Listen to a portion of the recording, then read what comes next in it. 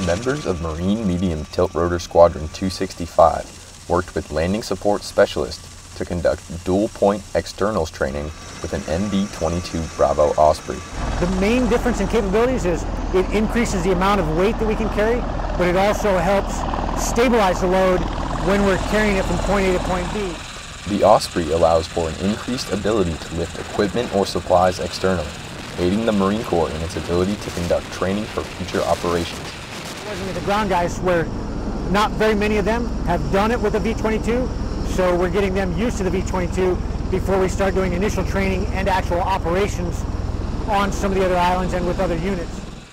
With the recent integration of the V-22 into Okinawa's squadrons, Marines are training toward increased familiarity with the new aircraft and its capabilities.